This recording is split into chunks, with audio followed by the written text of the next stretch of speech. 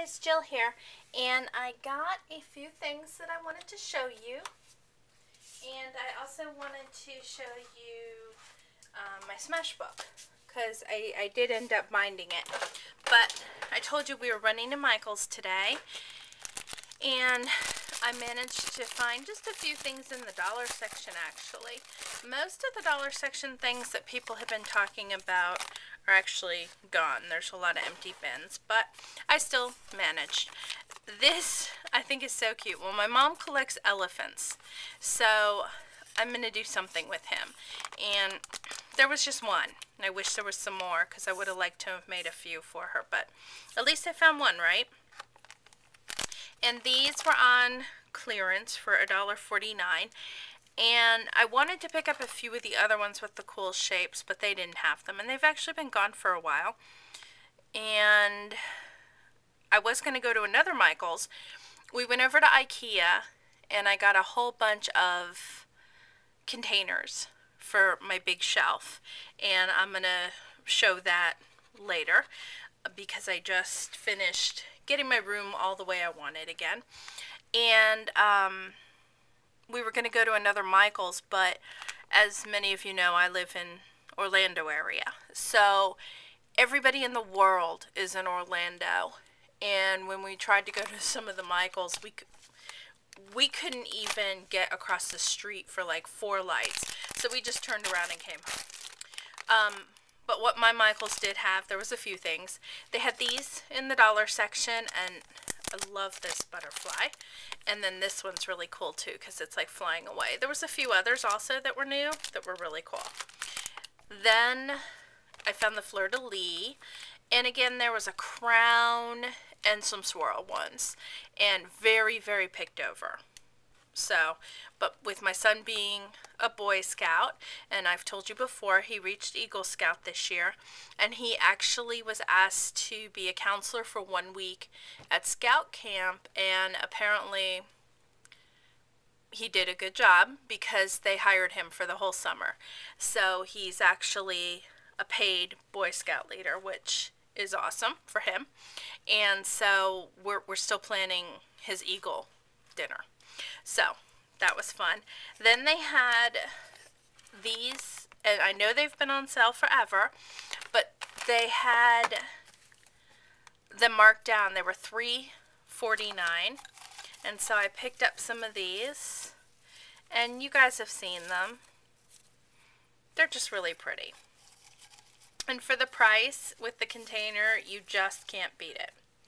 So, because I needed more flowers today, as you can see. So that was everything I got at Michael's. Feels like I spent more. Don't know why. I placed a small order with I Am Roses. Just got a few things. And I've been wanting to try these, this style of roses. And I actually, I think I meant to get some smaller ones. These were kind of big, but they're going to look really good I'm out of gardenias, the big ones. So these will be nice. I really like them. And it's I should probably change it up a little anyway. then I got some of the scrapbooking gardenias. And these are smaller than the regular one.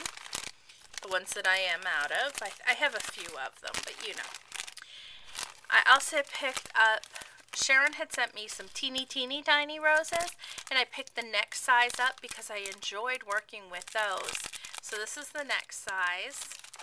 And then I also got the ivory semi-open rose buds. And I thought those would be fun to work with. And then Buma always sends a gift. And this is what she sent me. And I actually... This was more the size I was thinking these were. And I know the measurements are on there. And I don't know what I was thinking. But either way, they're going to be great. But these are really pretty. A size I don't have, an item I don't have, so that will really come in handy. Okay, so that's all that fun stuff. Let me, I had it all here nicely, see? So I could shove it aside and show you my projects. Okay, so I'm working on some craft fair items, and I'm finishing up my design team project for the butterfly garden. stuff and I had scraps left over and they weren't big scraps, just lots of randomness.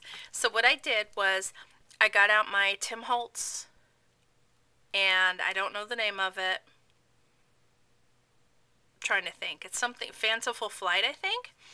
And I used all my scraps and I used some of the packaging for this shape and this is the ornate die from again Tim Holtz.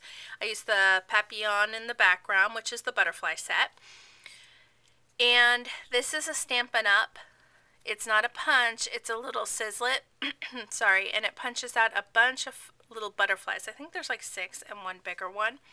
So I cut some of those out, used a silver pen, and then I used some of my punches, and there's even a little leaf back here with some glitter, just kind of trying to do some layers. And so these are one of the items I'm going to do in the craft fair.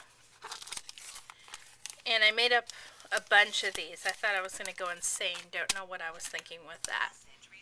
But this is the card that I had first made with the scraps from some of my design team stuff. This is um, a Michael stamp.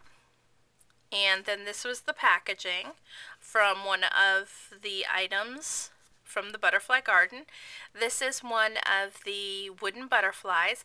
I dyed it with my my, you know, my Distress Stain dabbers. And I went with some of the brighter colors to make it just a, a little different. The same stamp set in the background, diamond dust here, and that same punch, again, more whites than this one. This one's more cream, and my pearls from Michaels. And I used my corner chomper. It is, hold on, I have it written down, Deco on the corner. So that is some of the cards that I did. And then I haven't been that active because of my stupid hand. It's really bugging me. Okay, so I had showed you my smash book that I was working on. I decided to bind it. And if I need to take something out, I'll just slit and then you can put it back in. Or I can just add something to it. So here's the inside. The covers are a little bit bigger and there is room if I, I'm going to probably put a pen ribbon right here. But like here's to give you an idea. Here's some of the little folders. Here's one of the pages. I used, again, the Tradewinds stack from DCWV and the home stack. And then on the home stacks, a lot of the back pages, I used different graph stuff and printed it out. And that is something that Catherine from Life on the Scrap Beach showed us over on Ustream because she shows how she assembles this whole book. And I used my Bind It All to, to put this together. And she has a link to those and a link to her blog. And I'm also going to give you her YouTube name. So, but you should all know who she is. so I printed out a whole bunch of different ones. Like I thought this one was really fun. And again, some of them I left plain. And then like I put some little envelopes in, little coin envelope, and I'll like clip that so I can open it. This is a card I had bought many years ago and I had one left. Love this page. I threw in a few pieces of craft paper and I had showed you this earlier. And then these were from school where we were practicing bookkeeping and they're the exact same size. This is a piece of vellum over the keys. And again, more of that printed stuff. More of that. Here's another piece of vellum, a little thicker one. This was a great way to go through and find a whole bunch of mishmash of stuff I had. And then I had showed you my license plate, my temporary license plate for the car my dad gave us.